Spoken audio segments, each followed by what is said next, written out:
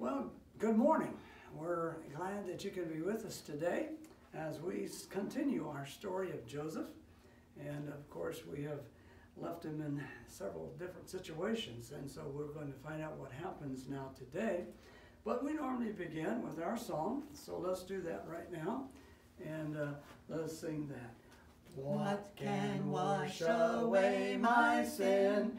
Nothing but the blood of Jesus. What can make me whole again? Nothing but the blood of Jesus. Oh, precious is the flow that makes me white as snow. No other fount I know, nothing but the blood of Jesus. And of course, we're here today because of Jesus Christ and what he's done for us. Thank you. All right, well, let's have a word of prayer as we begin our story today and uh, review a little bit about what we have had up to this point and then pick up from that point. Lord, thank you for your goodness to us and thank you for the opportunity today to look at the life of Joseph, an outstanding uh, character in the Bible, and uh, trust, Lord, that we can learn something from our lesson today. Help us, Lord, uh, to be clear on what we present in Jesus' name. Amen. Well, we, of course, we've dealt with Joseph here now for several different weeks, but uh, we started off with, with Joseph the dreamer. If you remember, he had several major dreams, and uh, it was significant. Those were very significant dreams that he had, and it, and indicated that his brothers and his family would be bowing down to him. And an amazing thing. And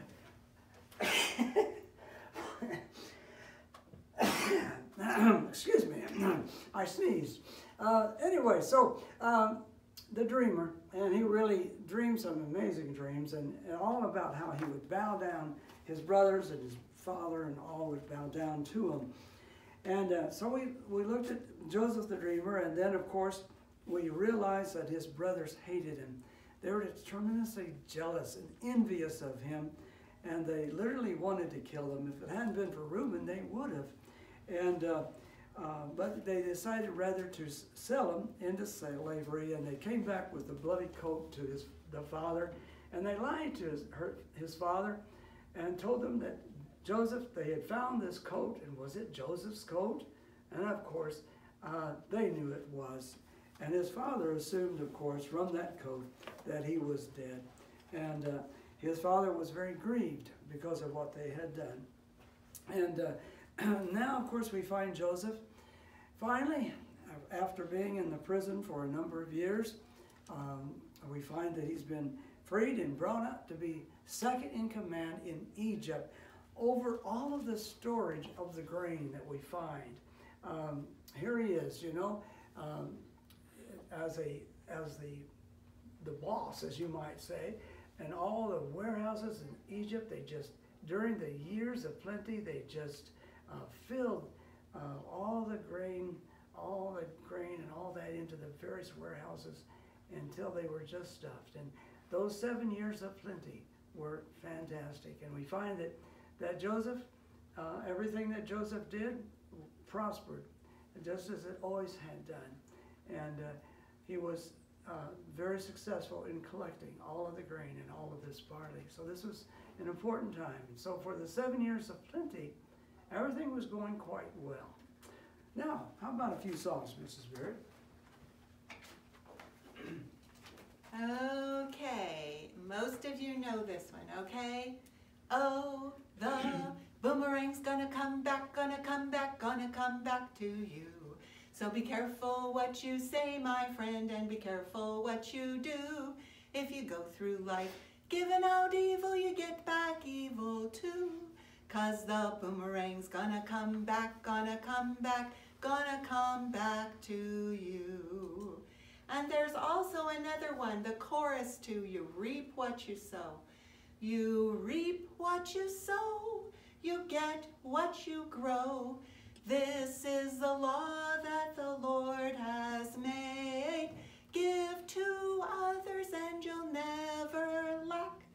Plant some good and your good will come back. Okay, are you ready for the story?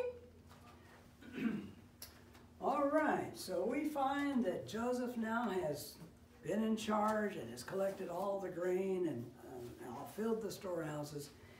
Now remember, there were seven years of plenty, seven years of prosperous growth of everything. Everything grew and there was plenty of water and everything. But now we see that uh, uh, the seven bad years are coming on. And uh, so, and all the countries around about Egypt also were suffering from this. And so, uh, for the first year, you know, things were getting worse and worse as there was no water, there was no crops, and things were getting bad. And uh, the people came to Joseph and, and said, What shall we, or actually they came to Pharaoh and said, What shall we do? What shall we do? Uh, we don't have any food. And Pharaoh said, Well, go to Joseph. He's going to take care of you. And so Joseph, at that point, started selling grain to, to uh, the Egyptians. And then as, as other people came in from other nations or other countries, he began to sell grain to them. Well, into about two years now of the famine, we find that suddenly something happened very significant in our story. Remember in the dreams that uh, Joseph had earlier, how he dreamed that someday his brothers and even his family would be bowing down to him? Well, all of a sudden, something very significant is happening here. We see that Joseph recognizes his brothers. They have come, just like others have come from other nations, to buy grain from the Egyptians because they're the only ones that had this plan. And so he sees them and he recognizes them. And he, he really he really yearns to greet them, but he, he's, he wants to test them. He wants to see what's happened in their lives. And so um, whether they're like they were before. Remember, I mean, he was he was bitterly taken care of there in in back at home. He they'd hated him, remember? And when they threw him into the, the well, that dry well, remember he begged for mercy, and they just laughed at him and went to eat their lunch. Remember that? And then they brought him back up out of that well and sold him, literally sold him as a slave. And uh, so he wants to know what's happened in their lives. Realize that it's been now, um, it's been like 22 years since this event has had happened, since they had put him into that situation and sent him in, as a slave to Egypt. Remember, that was over 22 years ago, and uh, he wonders how they are now whether they are still um, uh, respectable, if they're trustworthy is what I'm trying to say. Are they trustworthy now? And so he does he does something at this point, which is kind of somewhat unusual, perhaps we might think, but he begins to test them, and he says, uh, "Why are you here? You've come just to spy on our land. That's why you're here." And, then the brother said, No, no, no, we, it's not that. Uh, we, we, we didn't come for that reason. Um, we, we, we come, we're, we're, we're, there's 12 of us. There's, our father is still in, uh, in Canaan, and, and our father, and there's, there's 12 of us. There's, there's us 10, and then Benjamin, the youngest brother's home, and, and then there's one that is not now. And uh, so we, we, we're here, we're just, we just need to buy the grain. Well, Joseph continues with his thing here where he says, well, no, you're spies, and you're just trying to find out what's going on here in Egypt. And uh, they said, no, no, we're not.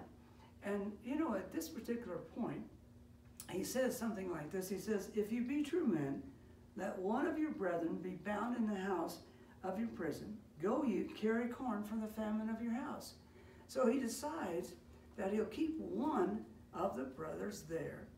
And he wants to see Benjamin. So he asks the brothers, I want you to send your youngest brother back, and then your brother here will be released. Bring your youngest brother back unto me, so that I know that your words are true, that you're telling me the truth, and you're not lying to me. Now, he said all this through an interpreter. He didn't speak to them in their language. He, he spoke to them in the Egyptian language as in, in interpreter. So they did not realize that this was that this was Joseph. They had no idea this was Joseph. He was dressed up in his Egyptian garb, and how would they know that this was him after 22 years? And I, I thought a key verse along this time was about in uh, chapter 42 of Genesis. I thought um, this is, can you imagine? For 22 years, they, re, they know what they did. They know how they lied to their father. They know how they treated Joseph, and that has bothered them. And, uh, and it says in verse 21 of chapter 42, it says, And they said one to another, We are very guilty concerning our brother. See, they remember what happened 22 years ago.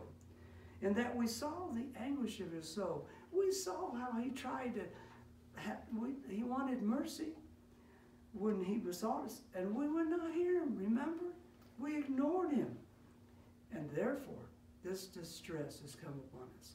And that's the reason. So we see that's a key in this chapter 42 and verse 21. Well, so they, now Joseph understood what they were talking about. They didn't know that Joseph understood what they were saying. They thought he was an Egyptian. They had no idea that it was Joseph. So he said, okay, I'll tell you what, I'm going to take one of you and, and keep you here until you return, as I said, to see if you are really truthful and that you will actually come back as you say you will, and that you really belong uh, to this older man that you talked about, this older, uh, the father, and the younger brother, and I want to see this younger brother when you come back. And so all of this was given to them uh, as an interpretation, and they filled, and uh, he gave them, he sold them the grain, and they paid for the grain and everything. And so they filled their bags up with the grain and they took off. Of course, now there's one less. He chose Simeon to stay there in the prison until they return with Benjamin. So as they are traveling down the road, it's quite a ways back to Canaan, so they probably had to stay overnight someplace. And when they went to open their bags, they found something in their bags and it was the money they had paid for the grain. And they looked into each bag and they realized that in each bag the money had been returned. They just did not understand and they thought, wow, this is this is something this is this is unbelievable as to what has happened. This man treated us badly. He treated us um, uh, unusually bad, we thought, and and we paid for it, and, and they, they kept one of our brothers, and here they've given back our money. What, what are we to, what are we thinking? What's going on here? So they're really quite concerned. So that's kind of where, where story coming. So here we go. Here we go. We got Simeon. He's there in jail in Egypt. And here we have the brothers realizing that all this money has come back to them. And uh, so what, wow, it seems really weird or strange. And they go back to their father, Israel, and they tell him everything that's happened. And, and Israel says, well, why did you tell him all the history? Why did you tell him there was 12 of you? Why did you do all that? Why did you say there was a younger brother? They said, well, we didn't know he was testing. We, we didn't know what he was doing. We just tried to tell him the truth. Hmm, that would be unusual for them, all right, according to the previous history that they had. And uh, so, and uh, they said, Simeon is there, and the only way we can go back and buy more grain is if we take Benjamin back with us, the youngest brother. And Israel said, No way. I here, I've already lost Joseph, and Simeon is sitting there in jail, and now you want Benjamin to go? What? What? Something ill befalls him. I can't stand it. I'll go down to the grave mourning. And so he, he refused. Time after time, they kept saying, well, we're going to run out of grain eventually, and we're going to have to do something. And uh, so, wow. And but he just wouldn't give up. And yet the grain stepped getting lower and lower and lower. The food supplies would get less and less. Well, we have a little game to play at this point, and so I should have a couple games for you. I mean, a couple quizzes for you. Remember, we've got our game. Now, this is a new game, all right, and uh, this one is called Monkey Business. And uh, it looks like this, okay? There's our Monkey Business song. And uh, so we got the we got the monkey and we got the banana. Oh, and we got the spider. Okay, and you can tell the spider is definitely a problem. Okay, so here we go. We're going to show you what happens. So real quickly, what happens if you go through? Uh, if you can answer a question correctly, I will push the button and you'll get 10 points, you notice? Now, you can stop at any time. But I'm telling you, there could be a problem if you keep going forever, you know? Uh, you have, uh, what is it, eight, eight, bunches of bananas. Now, if you can go all the way to the end, you get a bonus. But there is a problem along the way. You know, uh, you say go, I'll push go. If you say go, I push go. If you say stop, I'll stop. And you end up with the points that you have up there, 150 points. But if you say go, I'll say go, I'll go. I'll go again. And if this happens, you lose all your points. It's all over. Sorry about that, okay? Now, if, um, no, we're just, this is just a sample.